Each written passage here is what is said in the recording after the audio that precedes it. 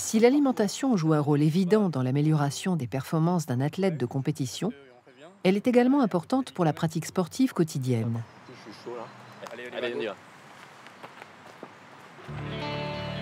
L'activité physique augmente les dépenses en énergie. Et l'équilibre de la balance énergétique, c'est-à-dire la différence entre ce que l'on mange et ce que l'on brûle, nécessite une augmentation des apports alimentaires.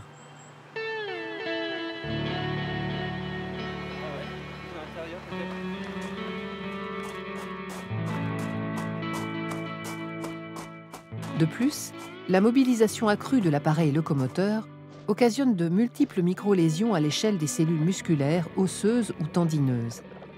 Cette dégradation nécessite la régénération et la synthèse de nouveaux tissus. L'organisme aura donc besoin de toutes les ressources en acides aminés, lipides et autres éléments minéraux pour se réparer et se reconstruire. L'urgence, quand les muscles d'un coureur sont en action, est de leur fournir de l'énergie sous forme d'ATP, l'adénosine triphosphate. Que se passe-t-il au niveau métabolique? Un coureur de sprint produit un effort très court et intense. Le muscle exige d'être alimenté très rapidement en énergie. Il consomme alors principalement du glucose.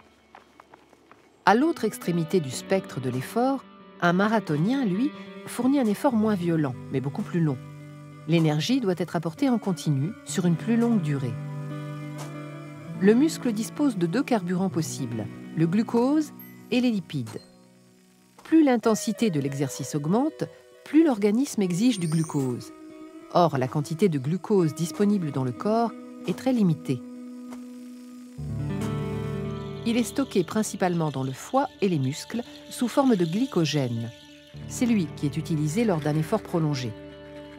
Il est donc important de constituer des réserves avant l'effort, par la consommation par exemple du traditionnel plat de pâtes.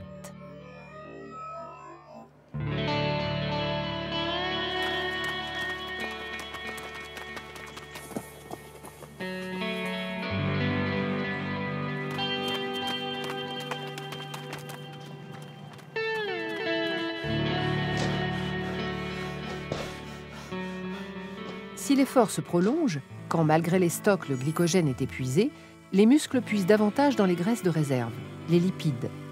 Les triglycérides musculaires sont les premiers utilisés car ils sont proches de la cellule musculaire.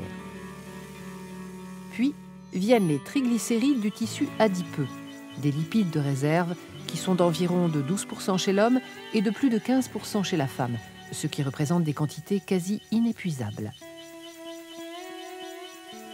En résumé, on peut dire que notre organisme a besoin de glucides pour aller vite et de lipides pour aller loin.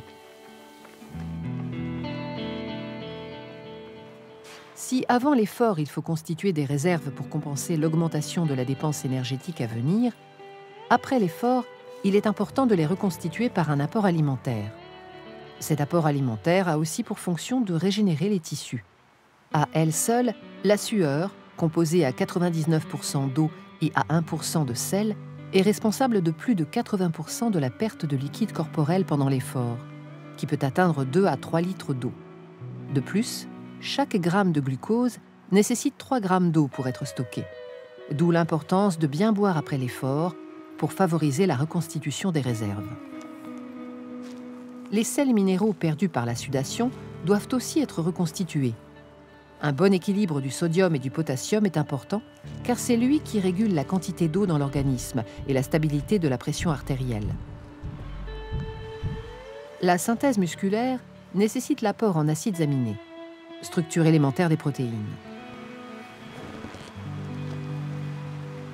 La régénération des membranes cellulaires, des muscles et des globules rouges nécessite un apport en lipides, qui sont les principaux constituants des membranes des cellules. Les besoins en fer, élément constitutif de l'hémoglobine contenue dans les globules rouges et indispensable au transport du dioxygène, augmentent avec la pratique physique. Sans apport suffisant, on risque l'anémie du sportif. Les os sollicités pendant l'effort subissent des microfractures qui doivent être réparées. Un apport suffisant en calcium permet la reconstitution osseuse. Le calcium jouant par ailleurs un rôle essentiel dans la contraction musculaire. L'alimentation, c'est l'anabolisant le plus puissant de la pratique sportive. Si les bons nutriments sont apportés en bonne quantité au bon moment, avant, pendant et après l'effort, sport et alimentation forment alors un duo gagnant.